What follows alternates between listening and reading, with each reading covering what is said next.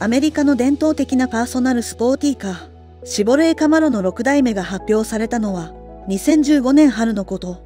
スタイリングは、市場の評価が高かった。先代のレトロモダンデザインのイメージを踏襲。けれども、中身は全てが生まれ変わったと言えるほどのフルモデルチェンジだ。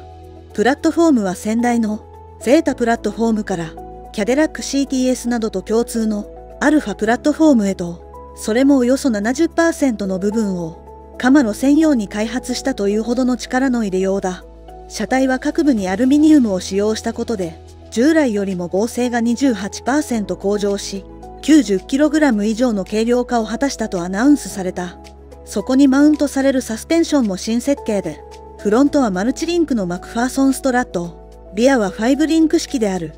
パワーユニットに関しての最も大きなニュースは、新たに275ホースパワー、279馬力と 40.8kg フォースメートルを発揮する2リッターの直列4気筒ターボが加わったこと、従来からの3.6リッター V6 ユニットにも改良が加えられたことにより、335ホースパワー、340馬力に 39.3kg フォースメートルとパワーもトルクもわずかに向上している。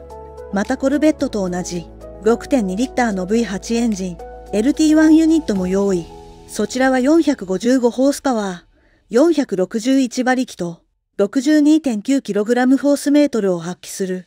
その LT1 ユニットを搭載するスポーツグレードが SS だ。